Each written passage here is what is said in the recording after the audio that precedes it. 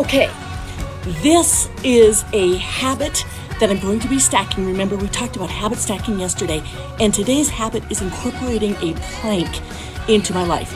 I do this occasionally, but I don't do it all the time, and I want to make it a daily practice.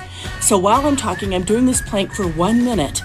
But what I one thing that I have been doing that's been pretty cool. I'm trying to keep this where you can see that my stomach is not touching the ground here. Um, I have a voice recording of me congratulating myself for achieving a goal that I haven't actually hit yet.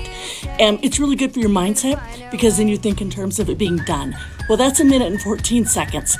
So if I play that recording while I'm doing my plank, I'm stacking two habits together one that I already do, one that I'm trying to incorporate. Habit stacking is an awesome productivity tool this particular one is good for me physically and it's good for me mentally.